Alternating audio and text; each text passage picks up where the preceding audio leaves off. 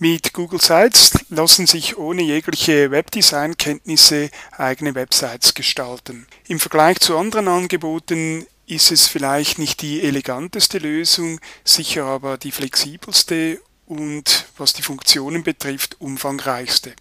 Zum Beispiel kann Google Sites gleichzeitig als Blog verwendet werden, wie hier zum Beispiel in den News, wo also die verschiedenen Artikel chronologisch untereinander gesammelt werden, aber gleichzeitig kann es auch ähnlich wie hier wikimäßig sein, dass man also eine Wissenssammlung in dieser Website anlegt und eben die Verknüpfungen von den verschiedenen Inhalten ins Zentrum stellt. Du siehst hier eine fingierte Website einer Klasse. Ich versuchte die Navigation so zu gestalten, dass in der oberen Navigation eher allgemeine Seiten sind, wie eben News, Kalender, dann Hilfe für Lernfilme, die die Website oder den Schulalltag betreffen, die Galerie und du siehst, hier hat es auch eine Unterseite, man kann also beliebige Untermenüs noch anlegen und eine Download-Seite. Während auf der linken Seite nochmals eine Navigation steht hier allerdings eher für inhaltliche Bereiche, also für die verschiedenen Fachbereiche.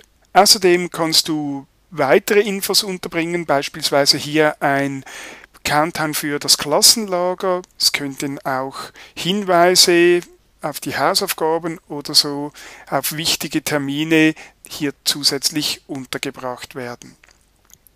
Wenn du angemeldet bist, so sieht dieselbe Seite ein bisschen anders aus. Du siehst, es hat hier eine zusätzliche Zeile und hier kannst du eben ganz bequem die entsprechende Seite, die gerade offen ist, bearbeiten. Mit einem Klick auf dieses Bearbeitungssymbol erhältst du einen Editor und du kannst hier die Seite ändern. Beziehungsweise direkt auch hier eine neue Seite anlegen oder über mehr deine Webseite verwalten.